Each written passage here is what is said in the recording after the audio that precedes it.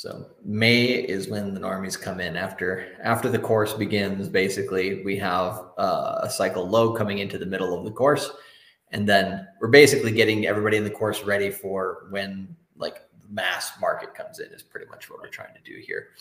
Um, but, but I but I would say you know one really good thing to to never stop DCing into is probably not even probably it's crypto mindset quarter two, you guys. well, you can dump your profits on us, that's for sure. Definitely, man.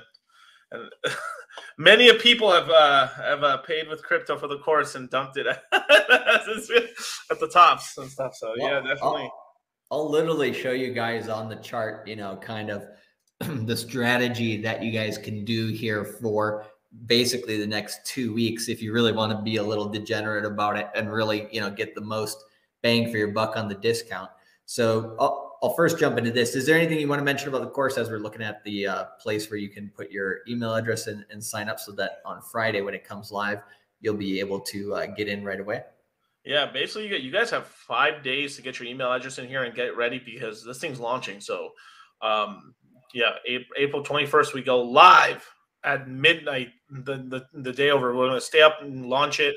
From there, um, you, will be able to get into the course. You have five days to get in, and it closes on Tuesday, the 26th at midnight Pacific Standard Time. Yeah, the 25th. Oh, the 25th. My bad. Yeah. Yeah, yeah, yeah. You're good. So yeah, I mean, most people there, there's always like a handful of people who don't put their name on the email list and they don't click to sign up for free and then when the course becomes live, since they didn't get any emails telling them the course was live, then they missed that five day period. And then they come back, you know, at the beginning of uh, the next month and say, "Hey, can I get in?" And the answer is no. Sorry. Um, so get in during that five day period and make sure to put your best email address here. Um, just before the show, I looked at how many people who have never taken the crypto mindset course um, have basically signed up for the waiting list, and we have 451 people who have never taken the crypto mindset course before, who have put their best email address in here, click to sign up, and are looking forward to the next crypto mindset course. So that's very good in terms of you know the amount of people who are really hungry to learn about crypto. And I would say if there's that many people hungry to learn about crypto, the amount of people uh, that we've helped in the past through our products and services has been 10,000 plus people in the past. So we know a lot of you guys are returning from, especially you know uh, the Q2 2022, Q3 2022, and Q4 Q1 2022 courses, right? So a lot of you guys are uh, sitting pretty, you know, having dollar cost average very well, and um, you know also bought at good prices. So things are looking good. Let's all jump in here and have a great time going into uh, Q2 and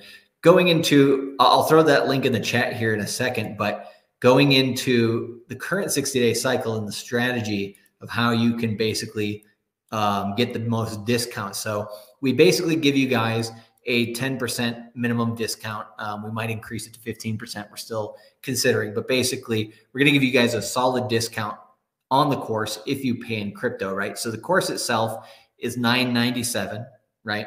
Um, one-time payment, and uh, we let's say we get that 10% discount just to make the numbers easy, right? Basically you get uh, about a hundred dollars off the course right there. So that brings it down to about 897 per person, right? And then if you've been in the Citadel for one month or longer, you've renewed once or more, then you get a $50 discount for every month you've been in the Citadel. So let's say you were in the Citadel for two months, two renewals, right? And then you got a hundred dollars off there. Now the course for you, right, is uh 797, right?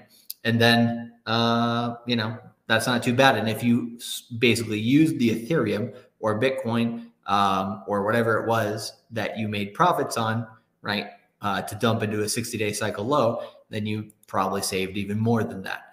Um, but if you look here, right, on the chart, and we look at where we are in the current 60 day cycle, uh, this is what we basically are expecting. Right now, we have a high for the current 60 day cycle on day 35, but with most cycles that are bullish up and to the right with a high past day 30, which was here on April 9th, we usually have a high um, between day 45, which would be at earliest there on April 24th, Monday. So, right, we have about, that'd give us about eight more days of upside, right, before um, we come down. And interesting that that April 24th is right in the middle, right, of our enrollment period or launch period for the Crypto Mindset Q2 course. So going into there, right, you should already be in profit, which would be good.